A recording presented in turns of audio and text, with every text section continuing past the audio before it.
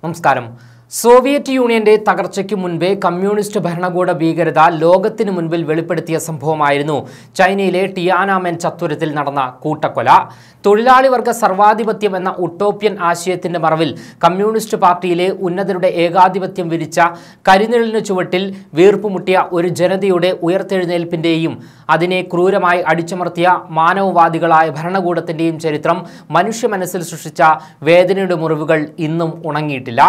ടിയാനേമെൻ കൂട്ടക്കൊല എന്നും ജൂൺ നാലിലെ കൂട്ടക്കൊല എന്നും ലോകം വിളിക്കുന്ന ജൂൺ നാലിലെ ശുദ്ധീകരണം എന്ന് ചൈന വിളിക്കുന്ന സംഭവത്തിൽ പ്രതിഷേധക്കാരുടെ നെഞ്ചിലൂടെ ടാങ്കുകൾ ഓടിച്ചു കയറ്റിയ ഭരണകൂട ഭീകരത പക്ഷേ ഇന്നും പലയിടങ്ങളിലും ന്യായീകരിക്കപ്പെടുന്നുണ്ട് എന്നതാണ് യാഥാർത്ഥ്യം. അമ്മയെ കൊന്നാലും രണ്ട് പക്ഷമുള്ള നാട്ടിൽ അത്തരം ന്യായീകരണങ്ങൾ ഉണ്ടാവുക സ്വാഭാവികം തന്നെയാണ്. ജനാധിപത്യവും അഭിപ്രായ സ്വാതന്ത്ര്യവും ആവശ്യപ്പെട്ട് സമരത്തിന് ഇറങ്ങിയ ജനതയെ പക്ഷേ അന്ന് ഉരുക്കുമുഷ്ടി കൊണ്ട് അടിച്ചമർത്താൻ ഭരണകൂടത്തിന് സാധിച്ചു. ആയിരങ്ങളായിരുന്നു ആ പോരാട്ടത്തിൽ ഭരണകൂട ഭീകരതയുടെ രക്തസാക്ഷികൾ ആയത്. ഇപ്പോൾ പടിഞ്ഞാറൻ ചൈനയിലെ ഉറുംഗി നഗരത്തിലെ ഒരു അമ്പരചുംബിക്ക് തീപിടിച്ചപ്പോൾ ആ തീ ആളിക്കത്തുന്നത് ആയിരത്തി തൊള്ളായിരത്തി എൺപത്തി ഒൻപതിലെ പ്രക്ഷോഭത്തെ ഓർമ്മിപ്പിക്കുന്ന രീതിയിലുള്ള മറ്റൊരു കലാപത്തിലേക്കാണ്. കെട്ടിടത്തിന്റെ പതിനഞ്ചാം നിലയിലെ ഒരു കിടപ്പുമുറിയിലെ ഇലക്ട്രിക് സോക്കറ്റിൽ വന്ന തകരാറായിരുന്നു അഗ്നിബാധയ്ക്ക് കാരണമെന്ന് പറയപ്പെടുന്നു. വിഷപ്പുക വമിച്ചുകൊണ്ട് ആളിക്കത്തിയ കെട്ടിടത്തിനകത്ത് അടച്ചുപൂട്ടപ്പെട്ട നിരവധി കുടുംബങ്ങൾ ഉണ്ടായിരുന്നു.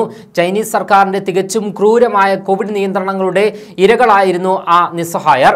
ഏകാധിപത്യ ഭരണ സംവിധാനത്തിൽ ഭരണാധികാരിയുടെ മണ്ടൻ തീരുമാനങ്ങൾക്ക് ഇരയാവുക എന്നും സാധാരണക്കാർ മാത്രമായിരിക്കുമെന്ന് ചൈന തെളിയിക്കുന്നത് ഇത് രണ്ടാം തവണയാണ്.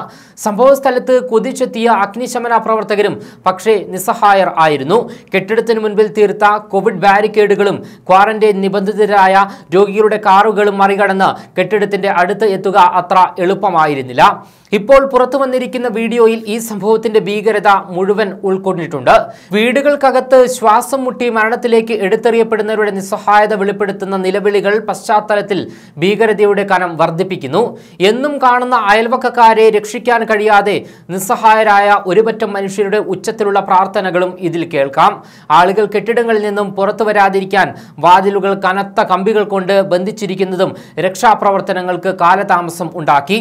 സംഭവത്തിൽ പത്ത് പേർ മരണപ്പെട്ടു എന്നാണ് ഇപ്പോൾ സ്ഥിരീകരിച്ചിരിക്കുന്നത്.